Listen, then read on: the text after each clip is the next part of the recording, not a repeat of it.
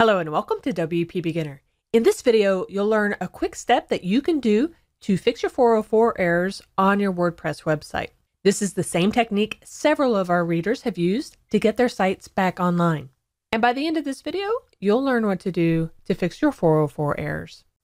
If you're able to access your admin dashboard and you can go to your site, but all of your pages are looking like this, then don't worry. We can get you up and running this usually happens if something called your HT access file has gotten deleted or if something went wrong with it. So to fix that, all you need to do is head back over to your dashboard area, go over to our settings, permalinks, scroll down, and you don't have to do anything. You simply want to click Save Changes, and that should be enough to handle the issue. Then you can go back over to your site, click around, Click on any of the posts and you see everything's back in order.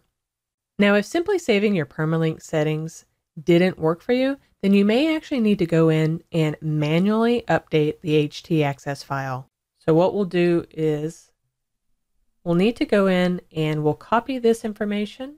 This is what we'll want to copy for a HT access file. So I'll highlight this, right click copy. You'll want to choose an FTP client to connect to your website remotely. I'll use FileZilla for this. You should be able to FTP into your site using the FTP credentials that your host gave you.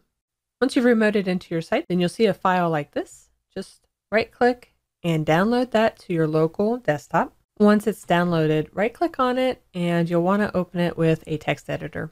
Once the file's open, paste that information that we copied earlier We'll save it.